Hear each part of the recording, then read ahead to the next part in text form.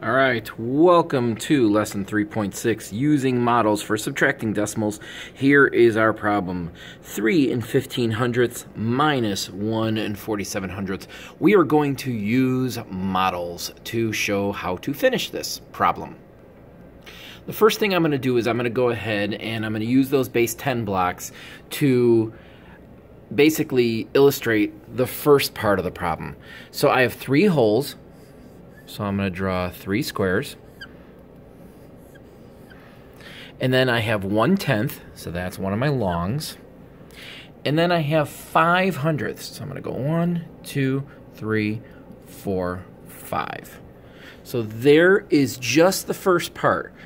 Three and fifteen hundredths. Ten, one tenth, five hundredths, one, two, three, four, five.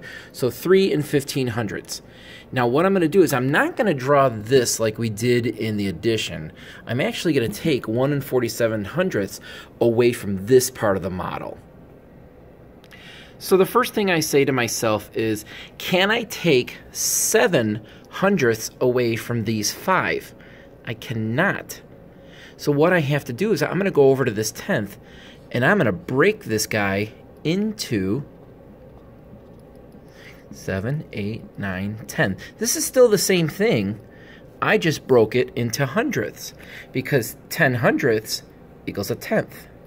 So now that I have the hundredths broken up, I can go ahead and take 7 away from it. So I'm going to just go 1, 2, 3, 4, 5, and I'm going to choose these two, 6, 7.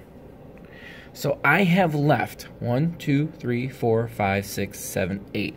I have eight hundredths left. So that is kind of like the end piece of my problem. The next thing I need to do is take away four tenths. I don't have any tenths left over. So what I have to do is I'm going to break up this guy.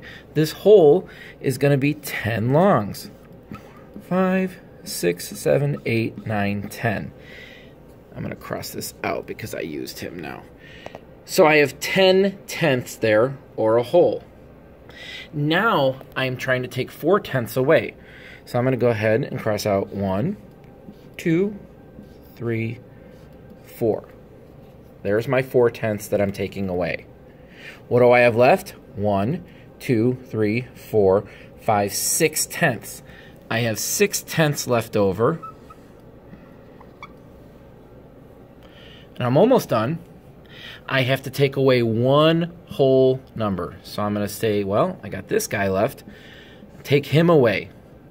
What do I have left? I have one whole left. So my answer to 3 and 15 hundredths minus 1 and 47 hundredths is 1 and 68 hundredths and you can see there's my original. The black is the original 3 and 15 hundredths.